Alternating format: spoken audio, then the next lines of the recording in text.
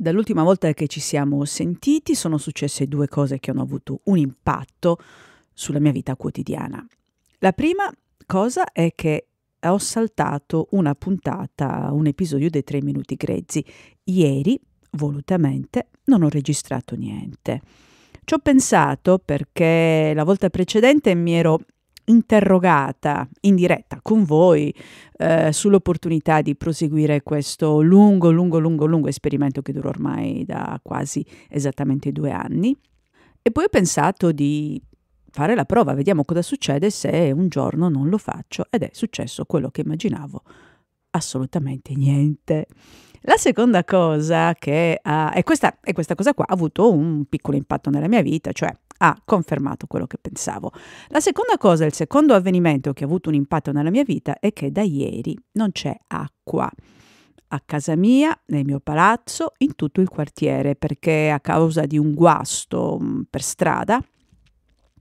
ieri pomeriggio uh, è mancata l'acqua ed è mancata in modo, diciamo, se deve mancare l'acqua, questo è il modo migliore che manchi, perché io ero dentro la vasca da bagno piena d'acqua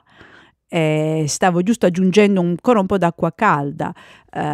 alla vasca e si è interrotto il flusso, però ormai l'acqua era già a un livello più che accettabile, per cui mi sono fatta il bagno, ho visto che mancava l'acqua e anziché far defluire l'acqua nella vasca l'ho tenuta là per usi domestici, almeno per buttarla dentro il gabinetto.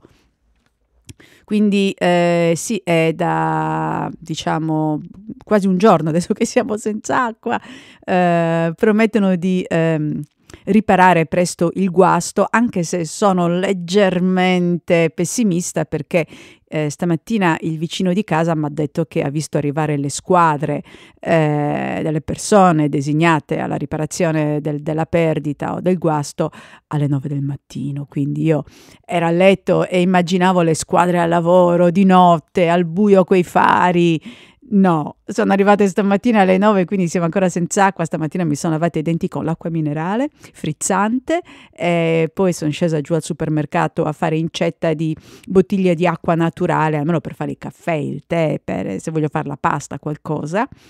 E, mm, sì, adesso aspettiamo, fiduciosi, eh, che l'acqua torni a scorrere dai nostri rubinetti e questo ci fa ricordare se ce ne fosse bisogno, quanto sia preziosa l'acqua, anche se io questa cosa qua la so perché sono cresciuta in una casa antica senza serbatoio e ogni estate ci portavano via l'acqua, quindi so esattamente cosa significhi vivere con l'acqua razionata. E per oggi il dispaccio finisce qua.